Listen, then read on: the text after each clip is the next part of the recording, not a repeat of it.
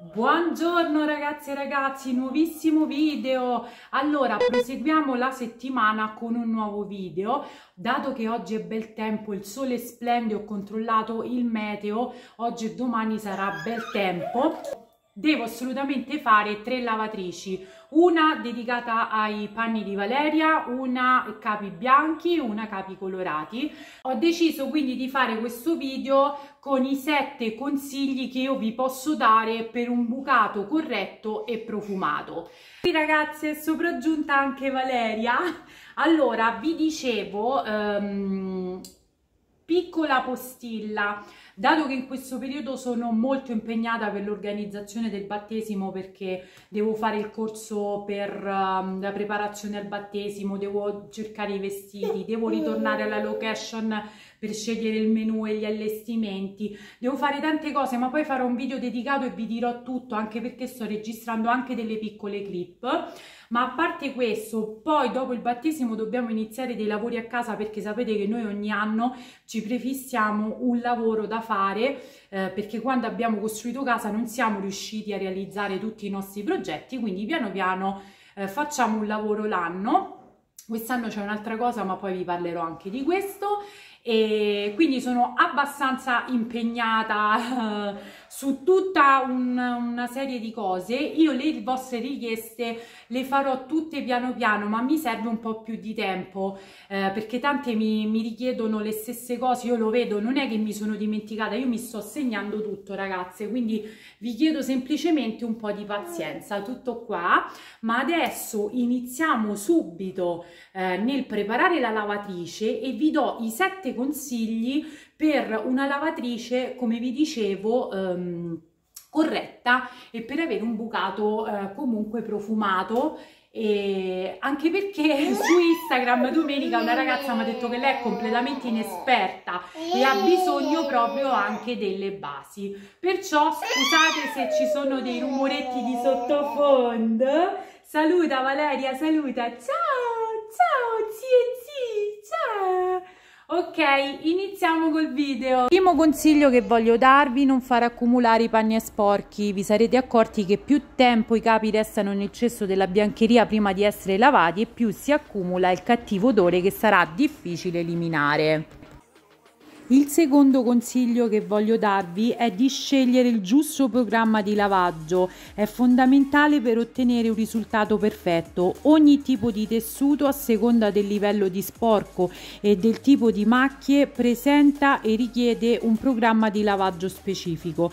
È necessario poi prestare attenzione anche a due aspetti seguire le raccomandazioni del produttore consultando le etichette sui capi e scegliere il programma di lavaggio più adatto. Il terzo consiglio che voglio darvi è quello di usare correttamente il detersivo e l'ammorbidente per ottenere un bucato fresco e profumato. Non è necessario utilizzare più detersivo del previsto o quindi aggiungere dosi superiori a quelle raccomandate perché in questo caso possiamo anche deteriorare i capi o danneggiare la lavatrice.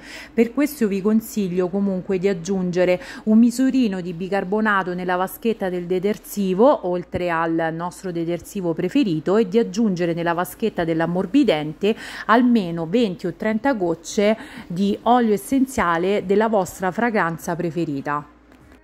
Il quarto consiglio è quello di utilizzare programmi specifici in base al tipo di bucato, quindi se bianchi, se colorati, se neri, se delicati e scegliere la giusta temperatura. Ad esempio io metto 30 gradi per i lavaggi veloci per rinfrescare il bucato che non è macchiato, 40 gradi per i capi colorati, 60 gradi per i capi macchiati, indumenti molto sporchi, ma eh, al 60 gradi lavo anche le lenzuola e gli strofinacci.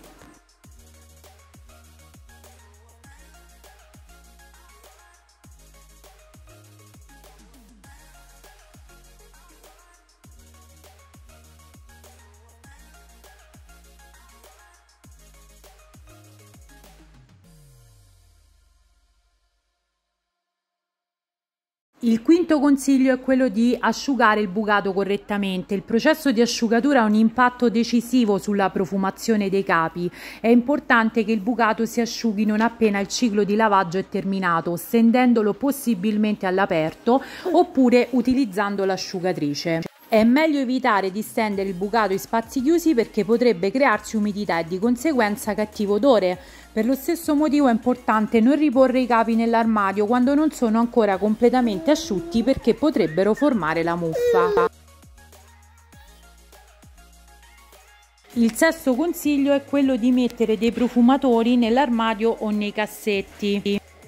Si possono appendere profumatori naturali, bustine di lavanda o semplicemente spruzzare all'interno dell'armadio sugli abiti fragranze fresche e delicate.